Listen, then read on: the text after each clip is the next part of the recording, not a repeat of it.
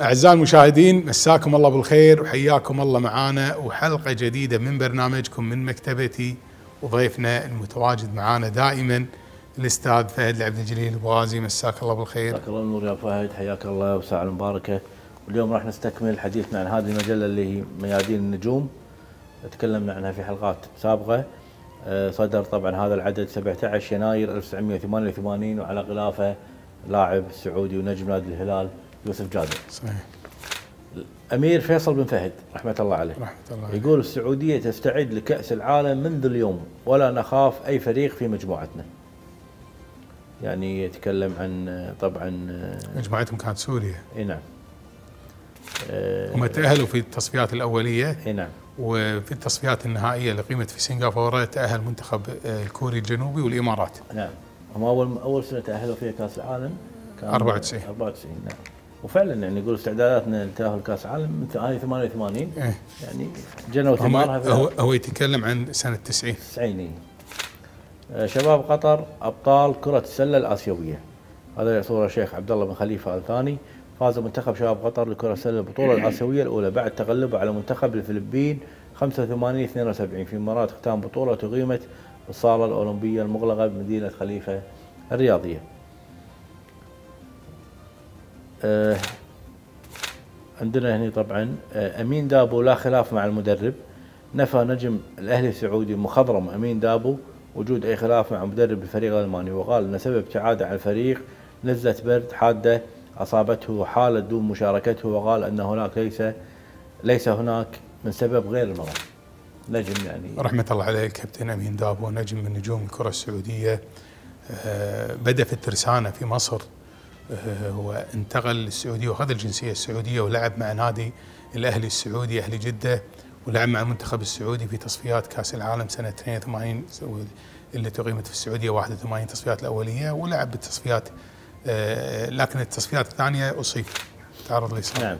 هذه طبعا آه، حديث لسيد سلطان السوي- السويدي رئيس الاتحاد القطري لكرة القدم. أبو خالد سلطان سويدي أحد مؤسسي النهضة الرياضية اللي صارت في آه، الكره الكره القطرية يعني لما تتكلم عن سنة 80 81 لغاية 84 85 آه، سلطان السويدي له بصمة آه، خالدة في تاريخ الرياضة السعوديه آه، الرياضة القطرية. قطر يعني المضيافة دوما تستضيف الأفرو آسيويين استضافت الدوحة اجتماع اللجنة المشتركة لاتحاد كرة القدم أفرو الأفريقي الآسيوي متمثل بكل من داتو حمزة رئيس الاتحاد الآسيوي وبيتر آه، فليبن رئيس الاتحاد بيتر في لبان إي فيلبان آه، سكرتير الاتحاد وعبد الله خالد طبعا رئيس لجنة مسابقات الديل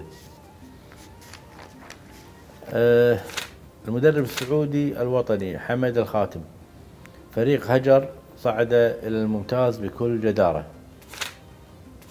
أحمد راضي كلهم أجمعوا على أنها ليست ضربة جزاء. نشرت الصحف السعودية أن أن المراقبين والمغربين من الفريق العراقي أجمعوا على عدم صحة ضربة الجزاء التي احتسبها الحكم ماليزي ضد أحمد جميل بحجة إعاقته اللاعب العراقي أحمد راضي. وأكد الجانب العراقي بعدم صحة الضربة بتاتا إلا أنه أكد أن هناك ضربة جزاء للعراق لم تحتسب. أما المراقبون فقد أجمعوا بعدم صحة الضربة حيث جاء دخول لاعب المملكة أحمد جميل على أحمد راضي قانونيا ولا يستدعي احتساب ضربة جزاء نهائيا وقد تسرع الحكم الماليزي باتخاذ القرار الخاطئ. وكانت مفاجأة للاعبي الفريقين معا. إيش رأيك نطلع فاصل. غازي ونتابع بقية الحلقة أعزائي المشاهدين لا تبعدون خليكم معنا فاصل قصير وراجعين لكم.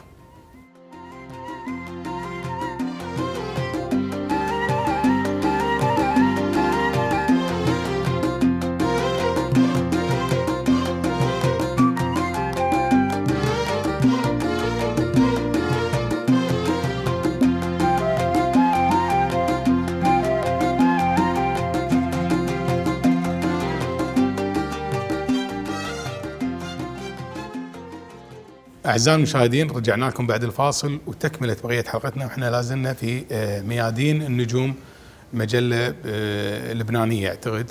أي نعم. إيه، في أعتقد تطبع في, لبنان. في يناير 1988 نعم. آه، سعود الحماد أخدم الهلال حتى من المدرجات. مهاجم طبعا فريق الهلال السعودي. رأس الحماد. الحربة. قدم المرشد في الجبس. مرشد لاعب نادي النصر. صحيح. أثر يعني أثر الإصابة البالغة التي تعرض لها أمام الأهلي وضعت قدم ناصر المرشد مدافع نادي النصر السعودي بعد احتكاك مع مهاجم الأهلي علي حسين. بالجبس طبعا. عبد الله بن سعد فوزنا أيوة. على النصر عادي.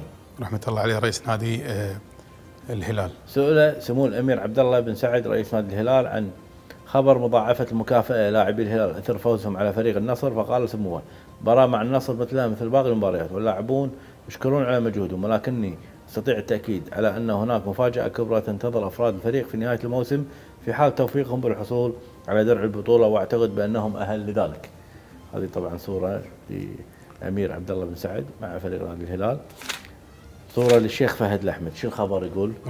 يقول محبتنا للكويت مستمرة في غياب طبعا رئيس التحرير خلال زيارته القاهرة سقط سهوا في إحدى الصفحات خبر مدسوس عن شرطة الملاعب في الكويت هؤلاء الذين يحافظون على النظام والأمن وبالطبع فإننا لا نقصد الإساءة وأعداد طبعا مجلة ميادين النجوم السابقة واللاحقة تبين ما كنه الكويت الشقيق ولكرة القدم الكويتية ولشرطة الملاعب الكويتية التي طبعا آه، ليش تكلم. أبو غازي عن هذه؟ نعم. لأن صارت إحداث بعد لعبتنا مع منتخب العراق اللي صارت سنة 87 في استاد صباح السالم تصفيات سيول. اللي فزنا اللي فاز فيها منتخب الكويت 2-1 بعد المباراة صار هناك اعتداء من مجموعة من اللاعبين المنتخب العراقي على حكم المباراة. فدخلت القوات الخاصة وصار بينهم وبين آه احتكاك. احتكاك احتكاك قوي يعني. وحتى تم تصويره بالفيديو. يعني أنا شفته تصوير خارجي غير التصوير التلفزيوني. نعم. فكان الاحتكاك هذا يعني آه، أثر على سمعة الكويت اعتقادا منهم أن أن هناك اعتداء على آه، الوفد العراقي. لكن الوفد العراقي هو اللي كان بادئ في الاعتداء على آه، حكم المباراة. إي نعم.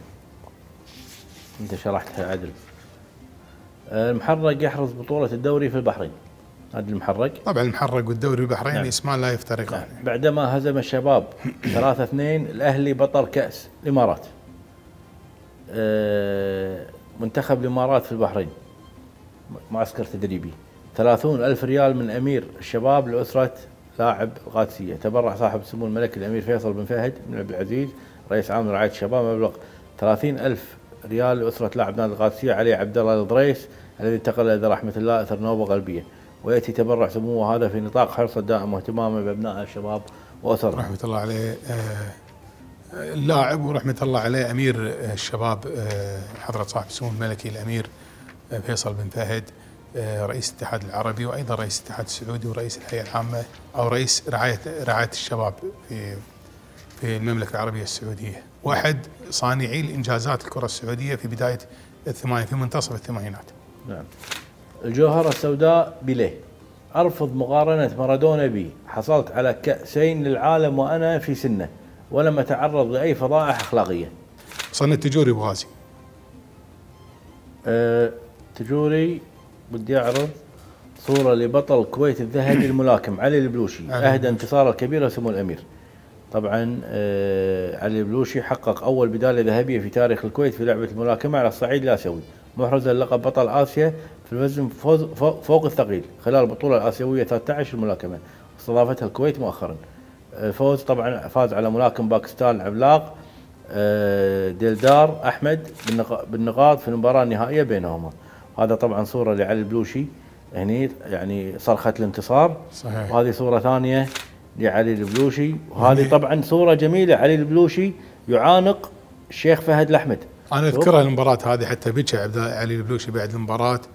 ولما سلم على الشهيد فهد الأحمد رفع إيد. شوف هذا عناق شوف الصورة أبو رفع إيد الشهيد فهد الأحمد كأول ميدالية على المستوى الآسيوي في نعم. ملاكمة للهواة طبعا نعم. هذه. أعزائي المشاهدين وصلنا لنهاية حلقتنا. تقبلوا تحياتي تحيات أخوكم فهد العبد الجليل. إلى نلقاكم إن شاء الله في حلقات قادمة ومع السلامة.